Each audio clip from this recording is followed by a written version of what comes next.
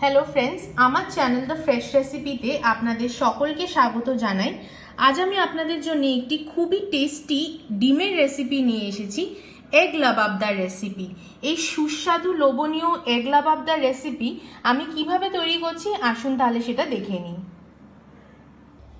Egg lababdar করার জন্য প্রথমে গ্যাসের আছে আমি একটা কড়া বসিয়ে নিয়েছি, কড়াতে আমি তেলও গরম করে নিয়েছি। এখানে তিন টেবিল স্পুন তেল নিয়েছি।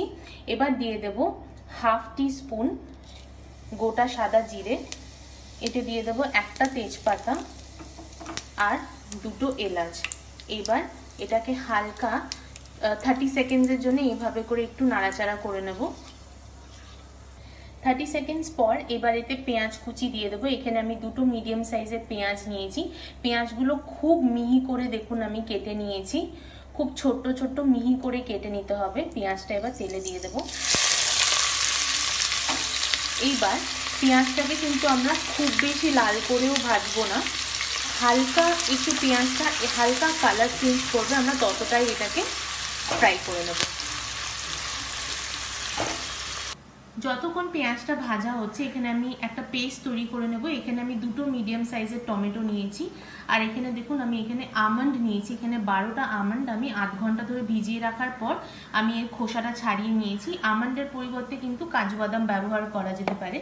এইবার এই পুরোটাই আমি একটা গ্রাইন্ডিং জারে নিয়ে নেব আর একটা পেস্ট তৈরি করে নেব। পেঁয়াজটা দেখুন, হালকা কালার চেঞ্জ হয়েছে আর খুব হালকাভাবে লাল হয়েছে। এইবার এতে আমি দিয়ে দেব,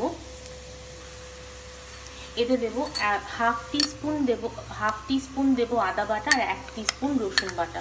পুরোটা দিয়ে দেব। এইবার খুব ভালো করে এটা ভেজে নিতে হবে। যতক্ষণ না আদা রসুনের যে একটা কাঁচা ভাব থাকে, সেই কাঁচা ভাবটা যতক্ষণ না চলে যায়, আমরা এটাকে এরকম ভেজে নেব।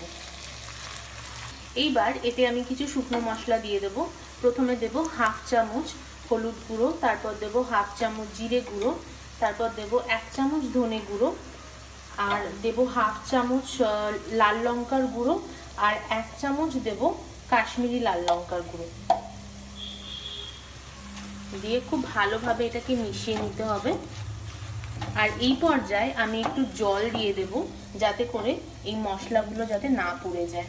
দিয়ে আমি এই মশলাটা খুব ভালোভাবে কষিয়ে নেব।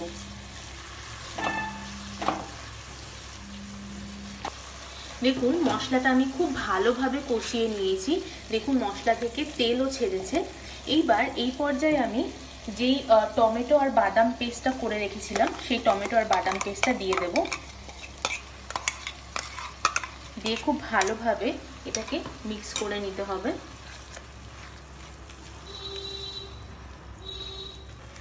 দেখুন, খুব ভালোভাবে আমি মিক্স করে নিয়েছি। এইবার গ্রাইন্ডারে যেই একটু টমেটো আর বাদাম পেস্ট লেগেছিল, তাতে আমি সামান্য একটু জল দিয়ে সেই জলটা দিয়ে দিলাম। এইবার একটু নাড়িয়ে নেব।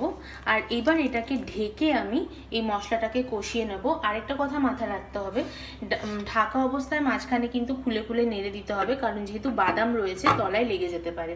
এবার এটা আমি ঢেকে মশলাটা কষিয়ে নেব। এবার আমি ঢাকনাটা খুলবো। এখানে আমি সাত আট মিনিট পর ঢাকনাটা খুলছি। এর মাঝে কিন্তু আমি এটা গ্রেভিটা নাড়িয়ে দিয়েছিলাম। যেমনটা বলেছিলাম যে এটা নাড়াতে হবে। কারণ যেহেতু বাদাম রয়েছে, তলায় লেগে যাওয়ার সম্ভাবনা থাকতে পারে। এইবার দেখুন খুব ভালোভাবে মশলাটা কষানো হয়ে গেছে আর তেলও ছেড়েছে খুব ভালো। এইবার এতে দিয়ে দেব হাফ কাপ জল দিয়ে দেব, এটা গ্রেভির জন্য জলটা দেবো। আর আরেকটা কথা বলে দিই, এই লাবাবদার এই রেসিপিটাতে কিন্তু খুব বেশি গ্রেভি থাকে না, আবার খুব ঘন গ্রেভিও থাকে না। তো সেই বুঝেই আমি এখানে জলটা দিয়েছি, এখানে আমি হাফ কাপ জল দিলাম। এইবার এতে আমি কিছু মশলা দিয়ে দেব। এইবার এতে দিয়ে দেব ফ্রেশ ধনে পাতা কুচোনো। কিছুটা দেব আর কিছুটা রেখে দেব, পরেও লাগবে। এখানে আমি ধনে পাতা কুচনো দিয়ে দিলাম। খুব সুন্দর একটা ফ্লেভার আসবে বলে। আর দেব, এখানে ফ্রেশ ক্রিম দেব। এখানে আমি দুই টিস্পুন ফ্রেশ ক্রিম নিয়েছি, দিয়ে দেব। খুব ভালোভাবে এবার নাড়িয়ে নিতে হবে। আর এতে দিয়ে দেব এক স্পুন দিয়ে দেব কাসুরি মেথি, আর দেব এক স্পুন গরম মশলা। এক স্পুন গরম মশলা দিলাম। এই পর্যায়ে আমি নুনটা দেখেছিলাম এর আগে, নুনটা একটু কম হয়েছে, তো নুন এবং ঝালটা আপনারা নিজেদের পরিমাণ মতো দিয়ে দেবেন। এখানে নুন দিলাম। আর সামান্য একটু ওয়ান ফোর স্পুন চিনি দিয়ে দেব। এই চিনিটা একদম অপশনাল এটা আপনারা যদি স্কিপ করতে চান স্কিপ করতে পারেন। চিনি দিলে কি টেস্টটা একটু এনহ্যান্স করে। এইবার খুব ভালো করে এটা মিশিয়ে নেব। এইবার এক থেকে দু মিনিট আমি মশলাটাকে এবার হতে দেব একটু। কারণ ফ্রেশ ক্রিম দেওয়ার পর কিন্তু এক থেকে দু মিনিট একটু এইভাবে করে নাড়িয়ে চাড়িয়ে এটাকে হতে দিতে হবে। এইবার এতে এক এক করে ডিমগুলো দিয়ে দেব। এইভাবে করে খুব আস্তে করে গ্রেভির ওপর ডিমটা দিয়ে দিতে হবে।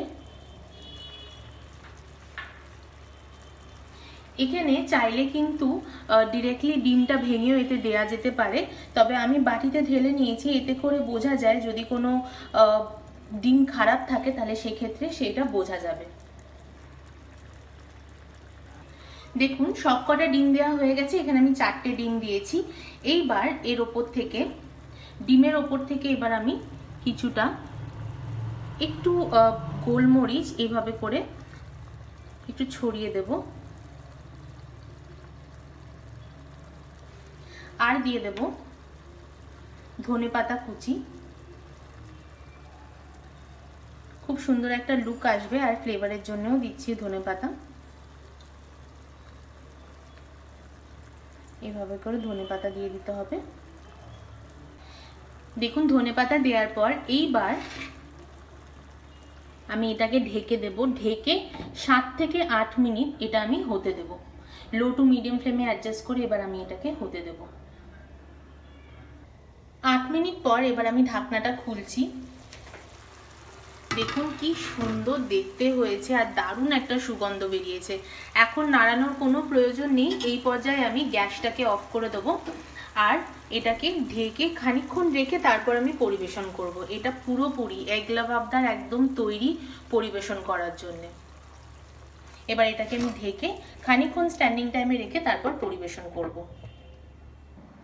দেখুন আমাদের এগ লাবাবদার একদম রেডি হয়ে গেছে। কি সুন্দর দেখতে হয়েছে, দেখুন, আর দারুণ একটা সুগন্ধ বেরিয়েছে। তাহলে এই রেসিপিটা আর এই ভিডিওটা কেমন লাগল অবশ্যই আমাকে কমেন্ট করে জানাবেন। আর এইটা বাড়িতে অবশ্যই করে একবার ট্রাই করবেন। এটা রুটি, পরোটা, নান, কুলচার সাথে দারুণ লাগে খেতে। তবে ভাতের সাথেও কিন্তু খুব একটা মন্দ লাগে না, ভাতের সাথে কিন্তু অপূর্ব লাগে খেতে। এটা তাহলে কেমন লাগল আমাকে জানাবেন। আর এই ভিডিওটা ভালো লাগলে অবশ্যই লাইক শেয়ার আর সাবস্ক্রাইব করার অনুরোধ রইল। তাহলে একটা ডিম আপনাদেরকে তুলে দেখায় যে কেমন হয়েছে। দেখুন, কি সুন্দর দেখতে হয়েছে, দেখুন। এইভাবে করে যদি সার্ভ করা যায়, দারুণ। হালকা একটু গ্রেভি। দেখুন, একদম রেডি হয়ে গেছে। খুবই লোভনীয়। এটা একবার ট্রাই করে দেখবেন, এটা ভীষণ টেস্টি খেতে হয়। এটা অবশ্যই একবার ট্রাই করবেন। একবার ট্রাই করলে বারবার করে খেতে ইচ্ছা করবে। তাহলে তাহলে ভিডিওটা আজ এখানেই শেষ করছি। আবারও আসব আরেকটি নতুন রেসিপি নিয়ে। আপনারা খুব ভালো থাকবেন, সুস্থ থাকবেন। ধন্যবাদ।